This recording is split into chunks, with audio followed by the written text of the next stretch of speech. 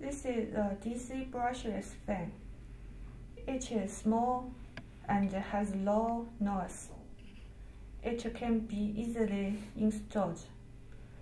The model is VD12038H. The voltage is DC 12 voltage. The dimension is 120 millimeters width, 120 millimeters height, and uh, 38 millimeters thickness. The airflow is 120 CFM. The bearing type is sleeve ball type. Our DC brushless fans can be widely used in computer power equipments, medical equipments, welding machines, and electronic equipments.